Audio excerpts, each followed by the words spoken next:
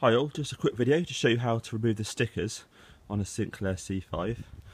Now, not going to remove these ones because these are in you know reasonably good condition, original stickers. And definitely not going to remove these ones here or the serial number because that's mega mega rare. Um, if I had a new wheel and hubcaps on it, I'd probably remove those stickers, but really these side stickers here are the ones to go. So get a jet washer.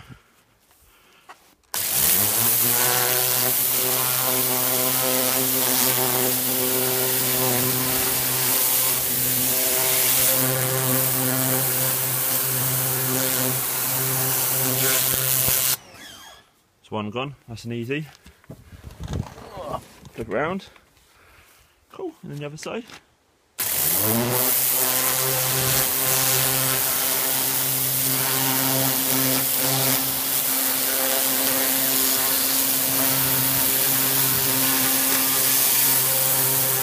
Cool, easy. There we are. Nice and easy. took like, what's that, 1 minute 12 to make this whole video. That's that one. I've also done this one here as well. Got the new stickers on the front. Yeah, and sorted out the side ones. There we are. Good clean. Excellent. Nice one. Hope that's of some sort of slight use, but you can see it's much, much, much easier than, pe than peeling it off with a, you know, your, your fingers or you know a plastic spatula. Nice one. Cheers.